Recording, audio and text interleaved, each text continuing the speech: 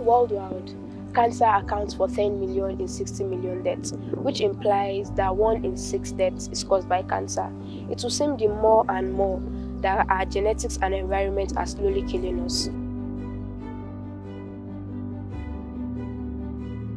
Chemical carcinogen, excessive sun exposure, which are results of our own activities, also contribute to this monsterity coming for us. If we would be sincere, our lifestyle is as well a culprit. Substance abuse, bad diet, and even physical inactivity. 4 to 8% of cancers are attributed to obesity.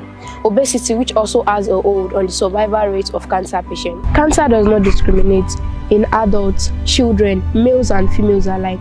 It holds a long, hurtful grudge. It convinces the body to kill its own self, that the healthy cells are in fact the enemy.